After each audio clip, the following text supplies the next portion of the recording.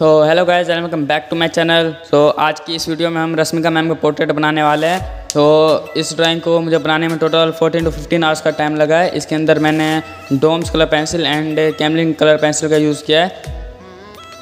इस वीडियो में मैं वीडियो के साथ साथ सामान या फिर मटेरियल्स का नाम भी आपको शो कराऊँगा, जिससे कि आपको वीडियो और ड्राइंग समझने में आसानी हो। अगर आपको इनके अंदर और कोई हेल्प चाहिए वीडियोस में तो आपने कमेंट बॉक्स में बताया। मैं अगली बार से वीडियोस में वो चेंजिंग करूँगा। तो चलो हम वीडियो को जब तक शुरू करते हैं। अगर मुझे लगा कि बीच में मुझे कुछ बताना है तो मैं आपको ज़रूर बताऊँगा। तो चलो वीडियो को स्टार्ट करते हैं।